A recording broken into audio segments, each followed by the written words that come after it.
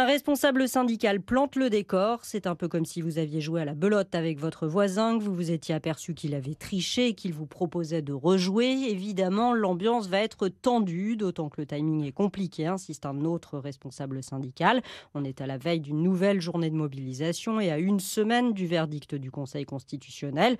Pour les syndicats, pas question de tourner la page des retraites. Au contraire, ils ne veulent parler que du recul de l'âge de départ et refusent d'aborder d'autres sujets, emploi des seniors pénibilité, usure professionnelle, comme le souhaite le gouvernement.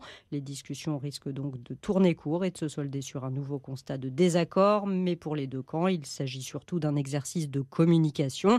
L'exécutif veut montrer que la porte reste ouverte aux syndicats. Eux veulent montrer qu'ils restent unis. Hier, lors d'une intersyndicale, ils ont pris le temps de se mettre en ordre de bataille avant ce rendez-vous à Matignon et devraient donc parler d'une même voix à l'issue de cette réunion.